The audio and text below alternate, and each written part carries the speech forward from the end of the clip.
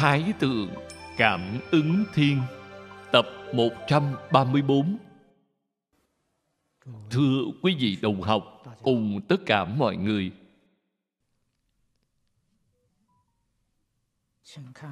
Xin mời xem đoạn thứ 67 trong Cảm ứng Thiên. Hao nhân hóa tài, Tức là làm tốn hao tài vật người khác. Và đoạn thứ 68 Ly nhân cốt dục, Xâm nhân sợ ái, Trợ nhân vi phi, Nghĩa là chia lìa tình thân cốt dục của người khác, Xâm phạm những điều người khác yêu thích, Giúp người khác làm việc sai trái. Chúng ta ngày nay xem đến bốn câu này.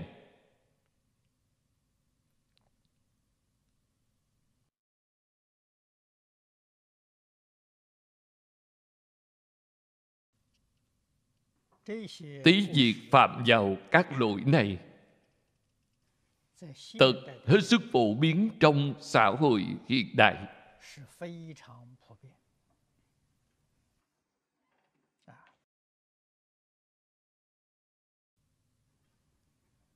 Ngay như trong cửa phật cũng thường nhìn thấy. Hao nhân hóa tài nghĩa là làm tốn hao tài vật người khác. Trong phần chú giải có giải thích rất nhiều. Quý vị có thể tự mình tham khảo. Nói chung phạm lỗi này đều là gì không biết quý tiết, những giá trị vật chất, công sức.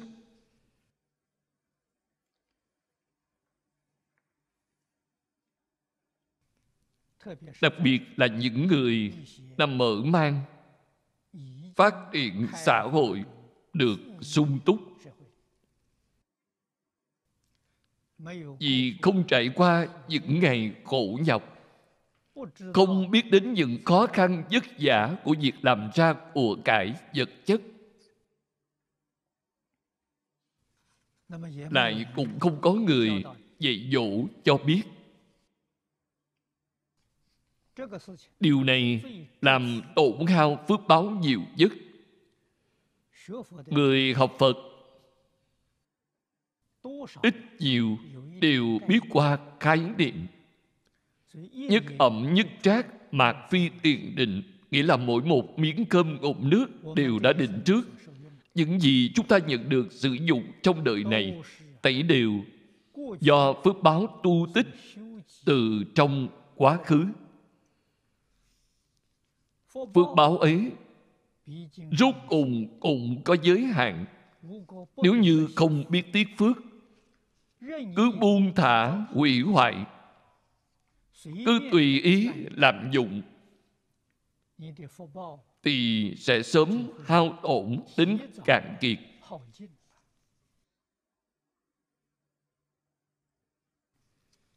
Cho nên trong xã hội chúng ta thường thấy rất nhiều người có thể nói là ở đâu cũng có. Đến lúc về già, phải chịu nghèo túng khốn khổ. Nó thật ra, tuổi già của họ đáng được hưởng phước, không đáng phải chịu khổ báo như vậy. Nhưng vì sao phải chịu khổ báo? Đó là vì lúc tuổi trẻ không biết chuyện, làm cho hao tổn cạn kiệt phước báo. Cho nên đến lúc tuổi già, phải nhờ cậy người khác cứu giúp. Hiện tại trên thế giới, có nhiều quốc gia quan tâm đến phúc lợi cho người già. Có nhiều địa phương làm rất tốt, nhưng nói thật ra, đó là giải quyết ở phần ngọn, chưa phải giải quyết tận gốc phải làm sao để quan tâm giải quyết tận gốc vấn đề phúc lợi cho người già? Đó là từ tuổi nhỏ phải dạy cho họ biết tiết phước, dạy cho họ biết tiết kiệm. Ý nghĩa này hầu như trong tôn giáo nào cũng đều nói đến.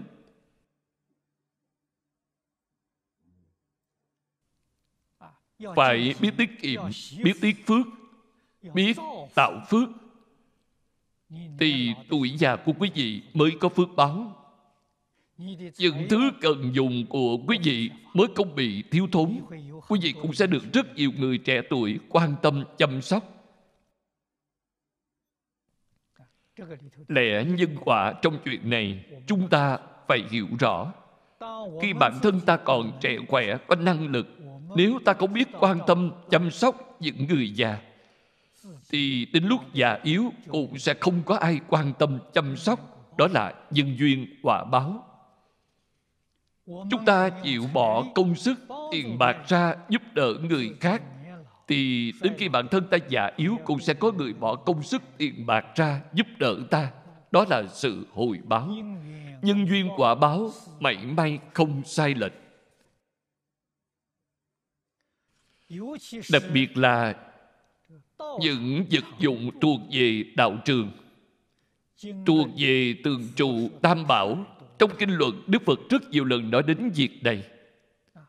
Không biết quý tiếc tài vật của tường trụ tam bảo thì tổn hao phước báo gấp nhiều lần so với những tài vật thông thường.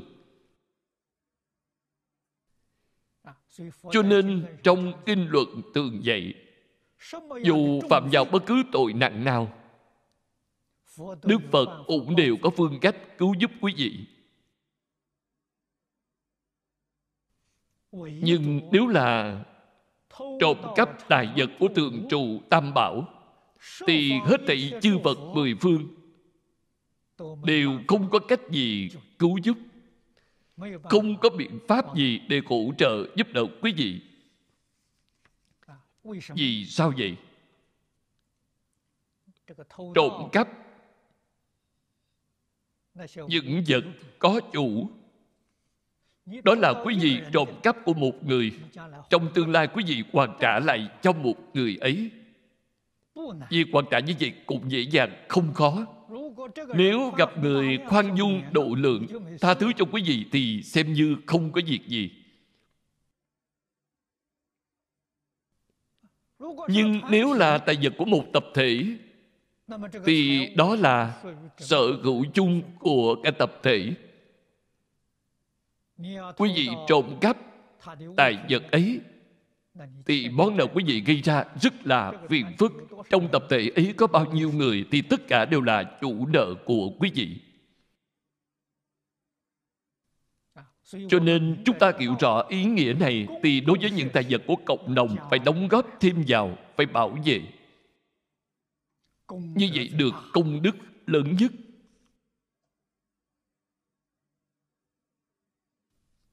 Đối với phương tiện tài vật của cộng đồng trong một thành phố nếu quý vị mà trộm lấy đi thì kết quả tội lỗi ấy là tất cả cư dân trong thành phố đều là chủ nợ của quý vị nếu là tài vật của quốc gia thì càng phiền toái hơn nữa khi quý vị trộm lấy thì quốc gia ấy có bao nhiêu người dân, tất cả đều là chủ nợ của quý vị Ý như Trung Hoa là một quốc gia lớn với hơn một tỷ người. Nếu quý vị trộm cắp tài sản quốc gia thì chủ nợ của quý vị là hơn một tỷ người. Không tính chính xác được.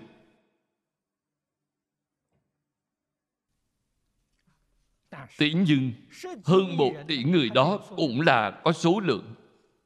Chư Phật Bồ Tát vẫn còn có thể giúp được, vẫn có thể cứu độ quý vị. Nếu là trộm cắp tài vật của tượng trụ Tam Bảo thì Phật cũng không thể cứu giúp quý vị. Vì sao vậy? Vì tài vật của tượng trụ Tam Bảo là tương thông khắp mười phương ba đời. Cho nên sự phiền toái rất lớn. Tội lỗi này kết quả là vô lượng vô biên. Cho nên quả báo là địa ngục.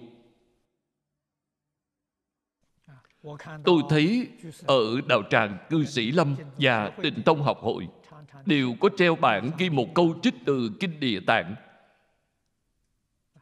cảnh báo mọi người rằng muôn ngàn lần cũng không được xâm phạm đến tài vật của thượng trụ Tam Bảo. Sự cảnh báo đó rất tốt vì có nhiều người sao lãng xem tường.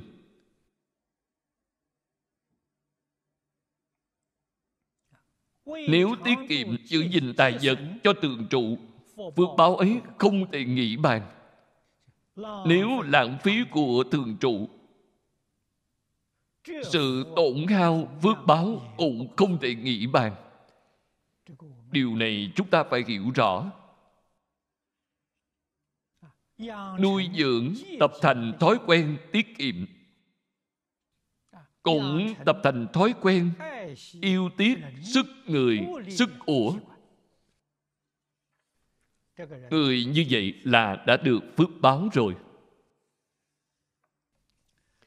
Câu tiếp theo bên dưới. Ly nhân cốt nhục, nghĩa là chia lìa tình thân cốt nhục ở người khác, đó là tạo nghiệp.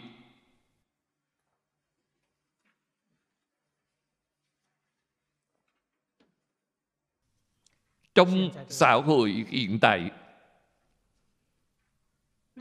Tỷ lệ ly hôn rất cao. Nên có những luật sư chuyên làm công việc hỗ trợ giúp cho người khác ly hôn. Đó là phạm vào tội này. Quả báo tội này không tốt. Quả báo tương lai là vợ con phải chia liệt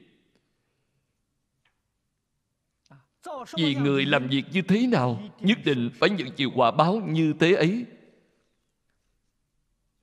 Quấy động chuyện tị phi.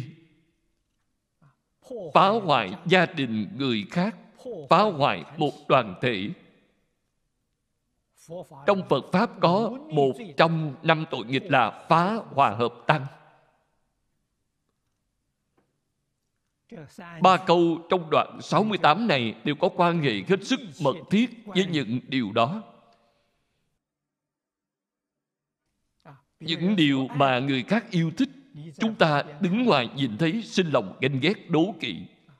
Không từ bất kỳ thủ đoạn nào để gây chia lìa để phá hoại, lại hỗ trợ người khác làm những chuyện xấu xa, đồi bại. Bậc cổ đức dạy chúng ta thành tựu việc tốt đẹp cho người khác, không giúp thành tựu những chuyện xấu ác. Trợ nhân vi phi, tức là giúp người làm việc xấu, chính là thành tựu chuyện xấu ác cho họ. Điều này thuộc về tội ác, lớn lao, quả báo hết thảy đều vào địa ngục. Cảnh giới địa ngục cũng rất phức tạp có nhiều loại khổ não phải nhận lệnh khác nhau thời gian dài ngắn cũng khác nhau. Tùy thuộc vào tội nghiệp đã tạo ra là nặng hay nhẹ.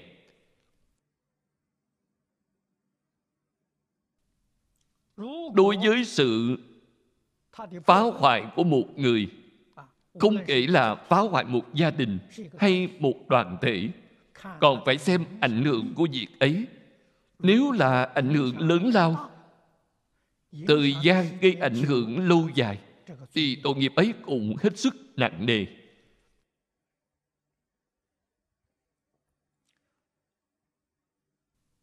Còn phải xem người bị phá hoại đó là người nào. Cá nhân họ, đối với xã hội, đối với chúng sinh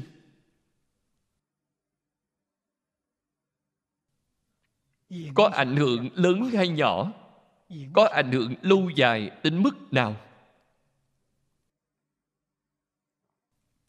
Trong kinh phát khởi bồ tát thù thắng chí lạc, đức thế tôn vì chúng ta nêu ra một trường hợp điển hình.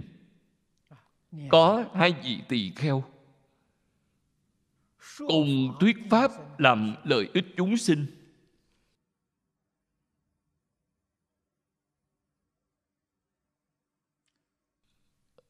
Đều bị người khác ganh ghét đố kỵ.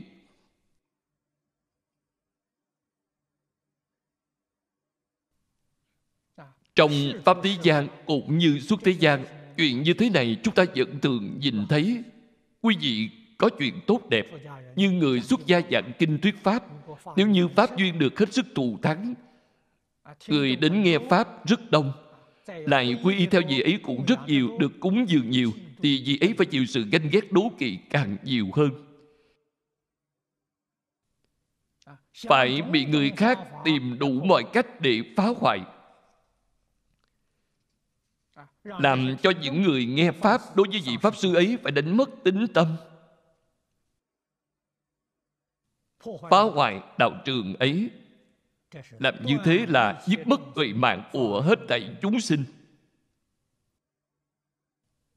Quả báo là phải vào địa ngục a tỳ.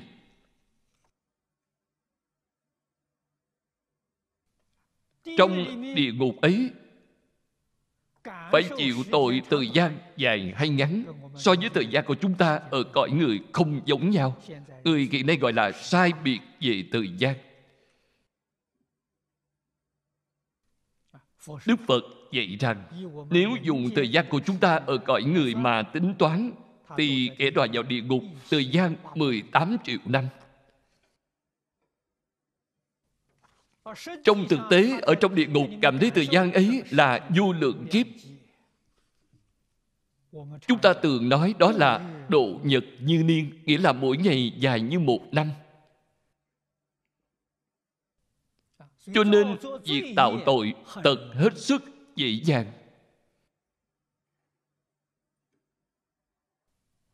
Thời gian hết sức ngắn ngủi. Dùng lời nói quấy độc chuyện thị phi. Chỉ trong mấy phút đồng hồ, chỉ trong một vài giờ.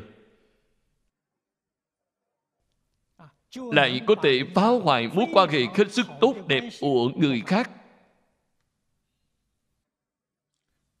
Tạo thành khẩu nghiệp. Trong ba nghiệp thì khẩu nghiệp là dễ phạm vào nhất.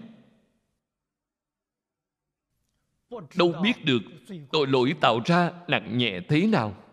Cho nên đức thế tôn trong kinh vô lượng thọ dạy chúng ta phải khéo giữ gìn ba nghiệp trong đó khẩu nghiệp được xếp ở hàng đầu.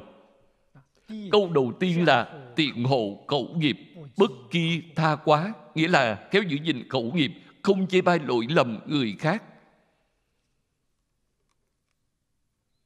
người khác không có lỗi lầm. Chúng ta đặt điều dựng chuyện.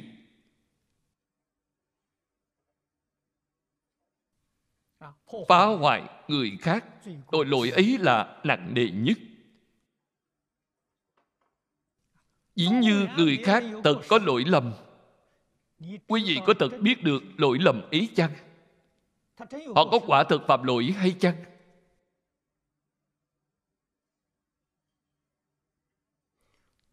Các vị bồ tát tiện tri thức khi tiếp dẫn chúng sinh vẫn thường dùng nhiều phương tiện khác biệt. Nhưng vẫn hướng về một mục đích cuối cùng.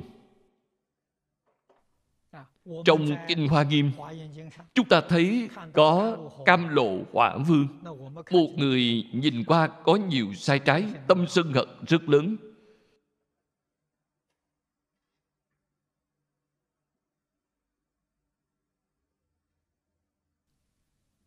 Dùng hình phạt nghiêm trọng đối với chúng sinh. Vị này là bồ tát. Ngài dùng phương thức như vậy để cứu độ một hạng chúng sinh. Chúng ta là phàm phu, sao có thể hiểu được? Vì thấy như vậy là sai trái. Bà la môn thắng nhiệt ngu si. Cô phạt tam mật đa tham ái đó là trong kinh hoa nghiêm, chúng ta nhìn thấy được các vị bồ tát dùng đến tam sân si, các cái dùng phương thức như vậy để hóa độ chúng sinh. Chúng ta không có trí tuệ, không có pháp nhãn, không thấy ra được dụng ý của bồ tát lại tùy tiện nói bậy tạo thành khẩu nghiệp. Tùy tiện chê bai, chỉ trích với ý xấu. Gây chia lìa thương tổn. Tạo vô lượng vô biên tội nghiệp.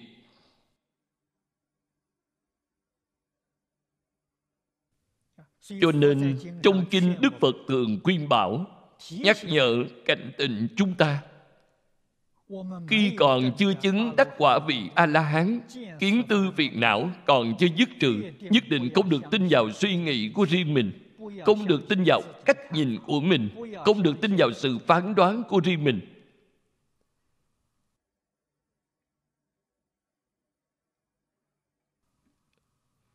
Đích thực đó là phải hay quấy tiện hay ác chúng ta không có cách gì rõ biết. Chúng ta nhìn nơi hình tượng bên ngoài không thể biết được dụng ý của người khác.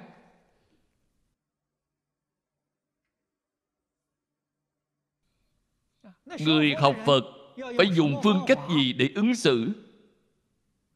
Đối đại với người khác tiếp xúc với sự vật chưa có được năng lực phân biệt chính xác như vậy, khi nhìn thấy người khác làm chuyện xấu ác, chúng ta chỉ chấp tay niệm a di đà phật, không bình phẩm. Như vậy là đúng đắn. Cho nên bồ tát phổ hiền dạy chúng ta một nguyên tắc, chúng ta phải luôn ghi nhớ lễ kính chư phật, xưng tán như lai, tức là cung kính lễ bái chư phật, ngợi khen xưng tán như lai. Các ngài làm những pháp lành, có ảnh hưởng tích cực đến xã hội, đến chúng sinh. Chúng ta không ngại ngợi khen xưng tán.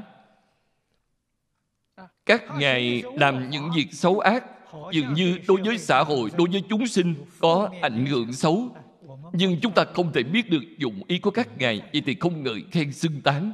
Chúng ta vẫn cung kính lễ bái các ngài, nhưng không ngợi khen xưng tán.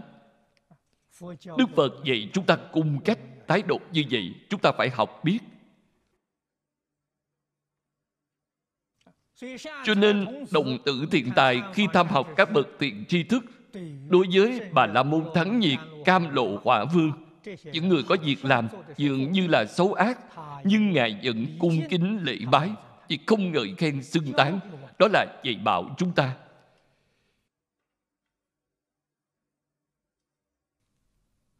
Tỳ hiện nêu gương cho chúng ta nhìn vào. Mọi việc làm của các vị bồ tát đều được chư phật như lai ngợi khen xưng tán. Phương thức sáng suốt cao vời. Chính là đồng sự nhiếp.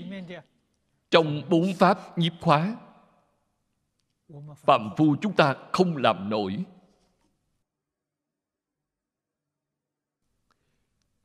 Phương thức mà các ngài vận dụng rất giống như trái với giáo pháp, nhưng dụng ý hết sức tốt đẹp, hiệu quả cũng hết sức tốt đẹp.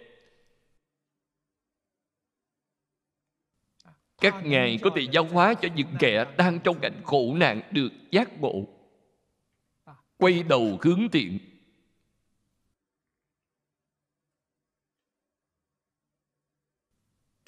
Giúp đỡ họ trong lúc nhận chịu khổ đau. Điều đó phàm phu chúng ta không làm được. Chẳng những là chúng ta không làm được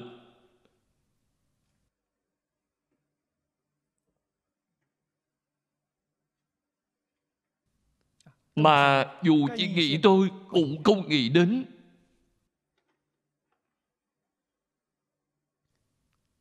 Căn tánh chúng sinh không giống nhau tập khí khác biệt nhau. Cho nên phương tiện cách thức mà bồ tát sử dụng để tiếp dẫn chúng sinh cũng không giống nhau. Các ngài có thể làm như vậy chúng ta không làm được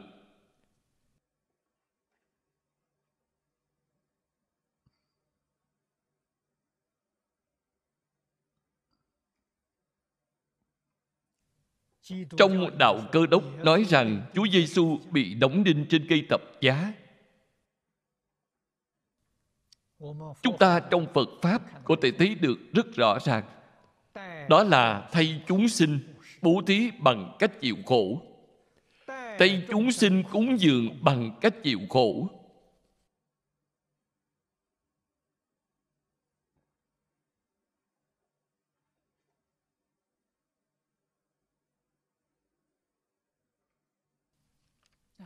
Những người làm hại Chúa Giêsu những người kết tội ngài những người hành hình ngài. Chúng ta thấy đó là người xấu ác. Chư phật bồ tát thấy họ là người hiền thiện chúng ta làm sao hiểu được? Không một người nào là người xấu ác cả. Cũng giống như chúng ta đọc trong kinh điển thấy vua ca lợi cắt sẹo da thịt trên thân thể vị tiên nhẫn dục so ra còn tàn khốc hơn Chúa Giêsu bị đóng đinh trên cây thập giá. Chúa Giêsu bị đóng đinh trên cây thập giá cũng không có gì ghê gớm lắm, chỉ là bốn cây đinh đóng vào thập giá mà thôi. Tiên nhân nhẫn nhục bị vua ca lợi dùng dao cắt sẹo từng miếng từng miếng da thịt cắt sẹo cho đến chết đó là sự tử lăng trì tàn khốc hơn nhiều so với Chúa Giêsu bị đóng đinh trên thập giá tiên nhân nhẫn nhục thành Phật Ngài phát nguyện trong tương lai khi thành Phật thì trước tiên là hóa độ người hại mình. Ngài là ai vậy? Chính là tiền thân của Đức Phật Thích Ca Mâu Ni. Còn vua Ca Lợi là ai vậy? Chính là người đệ tử đầu tiên được Đức Phật Thích Ca Mâu Ni hóa độ. Tôn giả Kiều Trần Như. Bồ Tát tỳ hiện. Chúng ta làm sao biết được?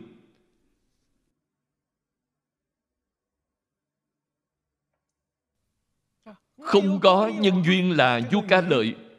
Pháp ba la mật của bồ tát không thể thành tựu viên mãn vua ca lợi chính là giúp đỡ hỗ trợ cho bồ tát thành tựu viên mạng pháp ba la mật, đó là công đức lớn lao. Phạm phu chúng ta làm sao biết được?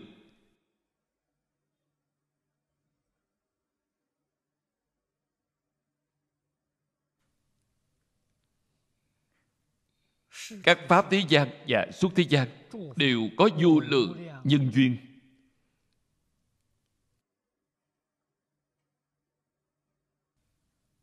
Lý rất sâu xa. Sự tình rất phức tạp. Không phải trí tuệ của phạm phu chúng ta có thể lý giải được. Cho nên chúng ta kính tin theo những lời răng dạy của đức phật. Chân chất thật thà y theo lời dạy dân làm quyết định xa lìa hết thảy các nghiệp xấu ác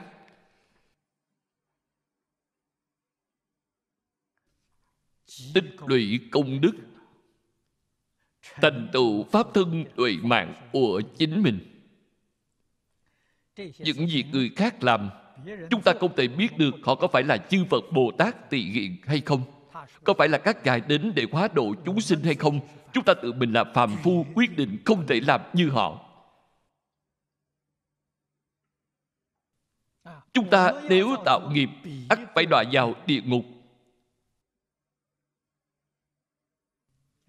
Điều này muôn ngàn lần phải ghi nhớ kỹ trong phần này. Nội dung, các chú giải hết sức phong phú, quý vị có thể tự mình đọc qua. Tốt rồi, hôm nay thời gian đã hết, chúng ta giảng đến đây thôi.